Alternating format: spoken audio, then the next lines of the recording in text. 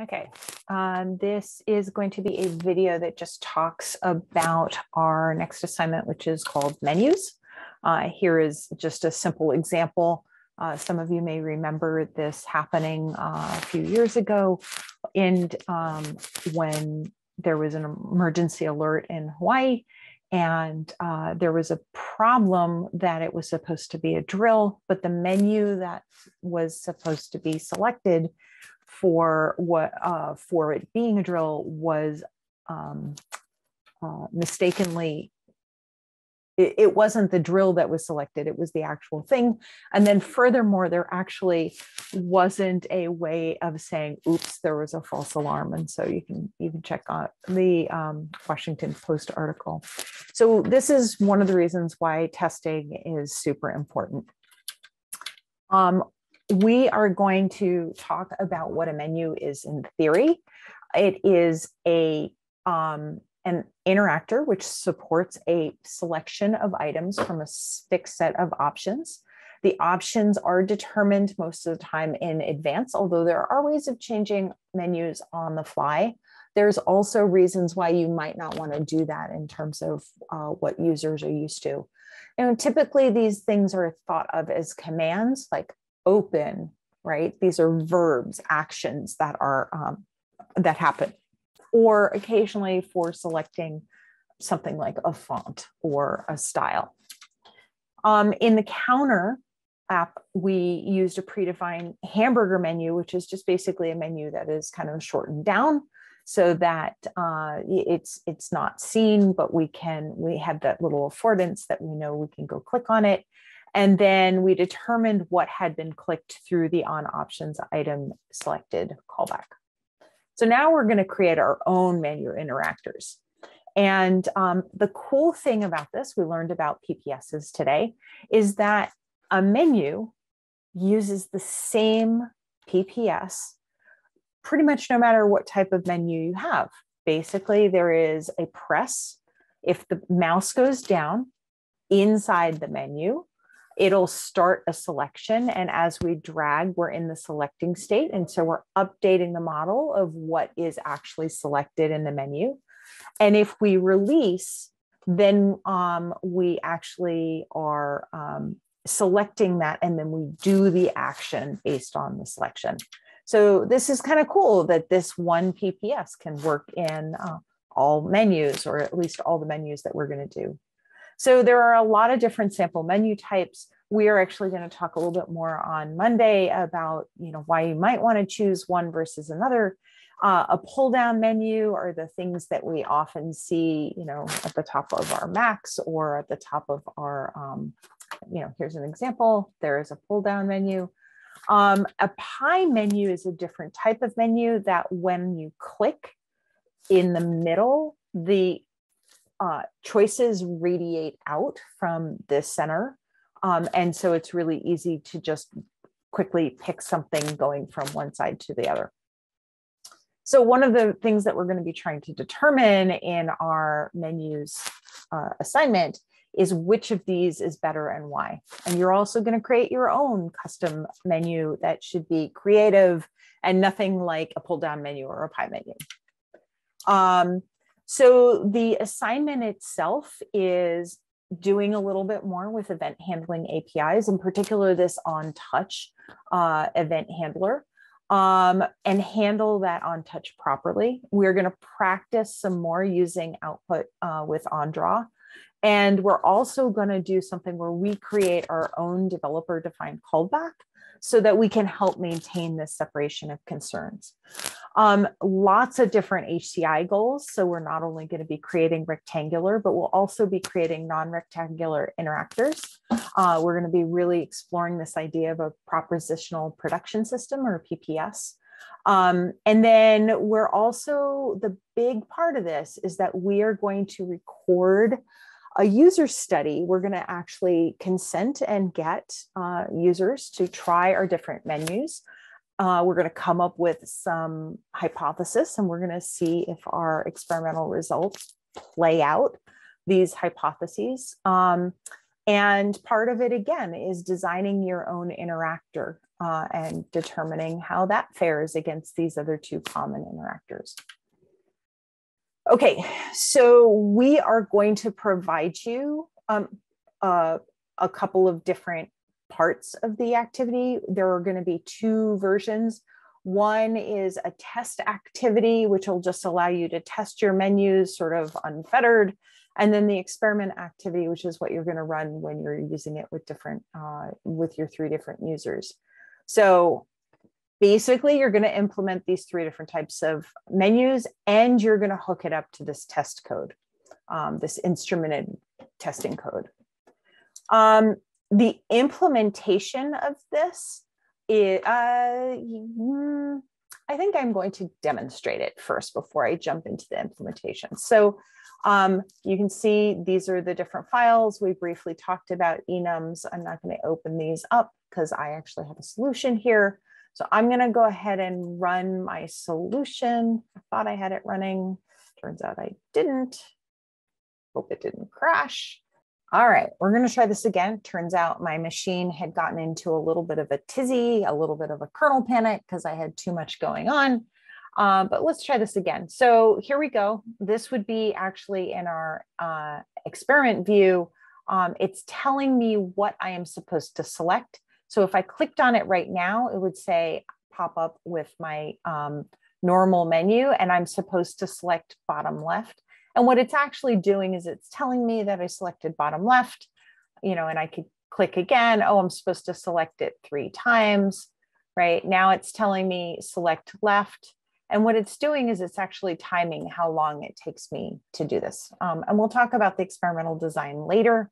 Um, what I want to do is show you that I can um, switch, maybe, come on, switchy, switchy. Um, ignore these for now. I'm going to switch to test mode and cancel the experiment. So I'm switching into the mode where I am allowed to test um, the the menus. Ignore that little arrow thing. I that that's cleaned up in your version. So here um, I am actually able to test my three menus, my normal menu, my pie menu, and my custom menu, or I could go back to the experiment. So I'm going to click and here's my normal menu and it tells me which one is selected when I sort of play around with these things, but it's not really doing anything other than throwing up this toast. I can switch to my pie menu and you can notice that actually I, I click and instead of starting at the upper left-hand corner, it actually is starting in the center and I can radiate out and select which menu item I want there. And then finally, you are going to create your own custom menu. Mine looks like this, which is a little crazy. Um, you can try and make the faster menu, or you could try and make a slower menu. Um, so this is the object hierarchy that you will be working with. As I um, pointed out, here is, this is the student version. You have your enums, which is the menu types, right? Pie, normal, and custom. We have our states. This is for our uh, PPS. Um, and then this is the task type that has to do with our experimental design. Um, you will be modifying custom menu view, menu experiment view, normal, pie, and experiment activity or the the menu or the the um, different um, uh, files that you will actually modify. Um, and so it's really important again that you go through and you read these and see what these are. For instance, you'll see that the normal menu view actually um, inherits from the menu experiment view, which you can also see here, right? So we have our abstract main activity and we have the two different types of activities. Um, we have this thing called a trial listener. I'm going to talk about that in a minute. Um, and then we also, uh, we have our view hierarchy, and then these are our enums. Oops. Okay. Um, we in menu experiment view, you are actually going to handle this on touch event using this same PPS that we were just talking about, um, where press is a mouse down, we are going to call start selection. We'll go into a state called selecting, and then we'll be updating the model. And then when we release, we will actually end the selection, pushing ourselves back into the start state. Uh, these are the two types of menus. Um, the drawing piece is actually going to feel very familiar in a way to what you did with Doodle. So thinking about what is the bounding box and where is the menu actually popping up relative to that, um, uh, the, the cursor that gets clicked down. So I mentioned this trial listener. This is something called a custom listener. And so we're going to talk very briefly about what they are and why we should use them. Um, they are used in menus um, and they are a way of separating concerns so that an object that needs information can get a message to update that information when the model is changed without having you know the model have to call directly into the the view and vice versa this is a way of being able to swap things out pretty easily i could put in i could create anything that um, listens for a, a, change and then does something um, uh, to, to visualize that change. So a really good example of this is um, a model that maybe sends multiple views information on state changes. I always like to think about an excel spreadsheet where if some of the data changes. We might have a pivot table that changes on a different um, on a different page. We might also have um, like a graph that changes based on sort of a table, and the table would be the model, and the graph and the pivot table would be different views. So, um, how do you implement these custom listeners? We have to define. Um, we need an object that will uh, uh, basically inform the other objects about changes. And I think it's, um, let's just go through sort of the, uh, the, the nuts and bolts of this. You know, basically we create something that spreads the, you know, that keeps track of who's listening and then sends the messages to those things that are listening.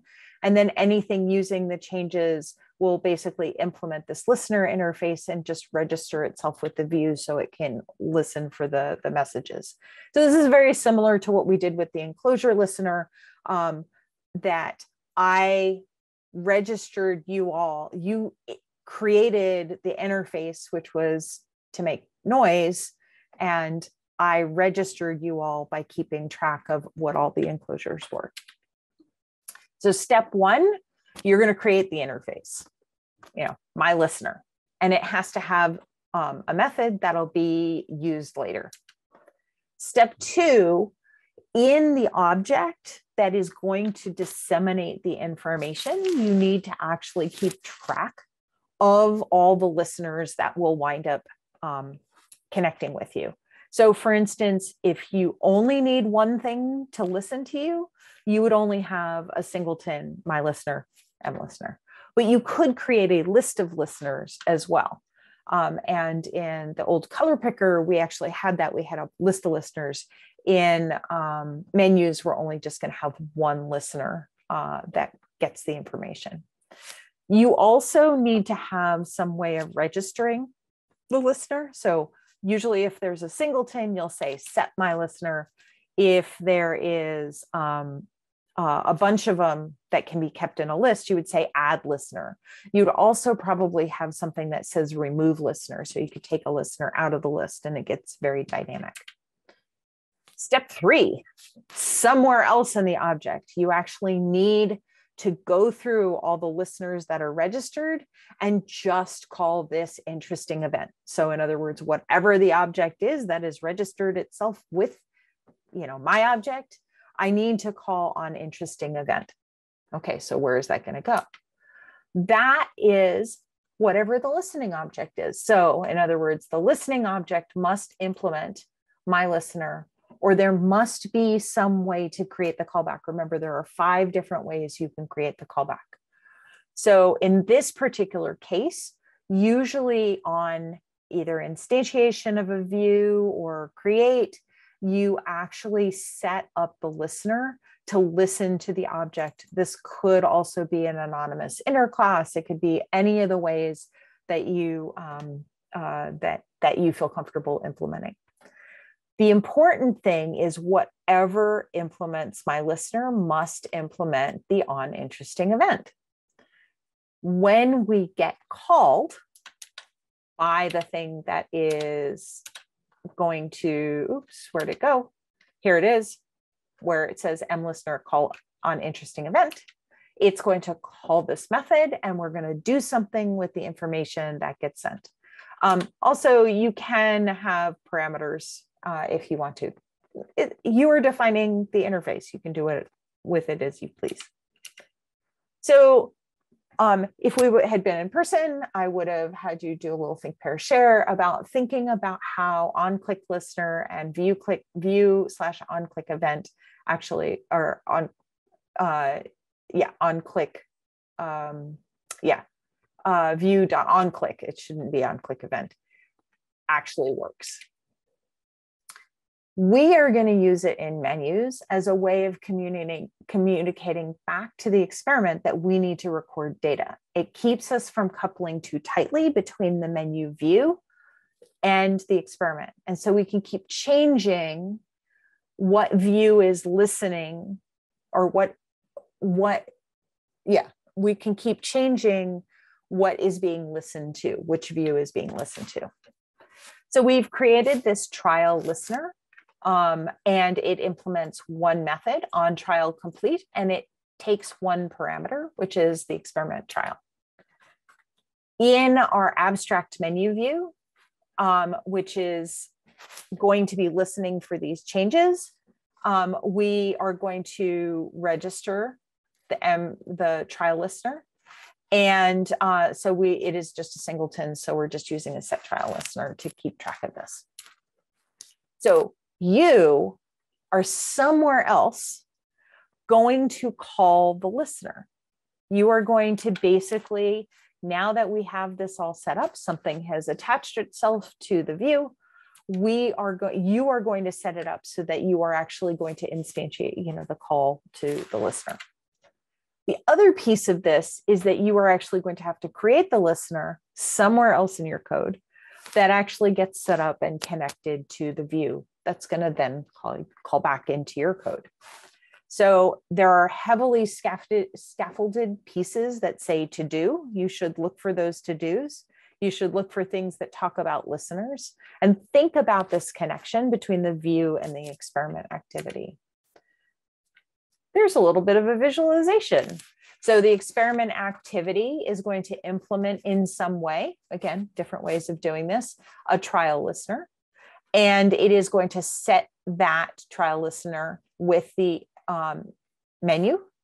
And when something happens in the menu, it's going to actually call and tell the trial, hey, I've got something for you to do.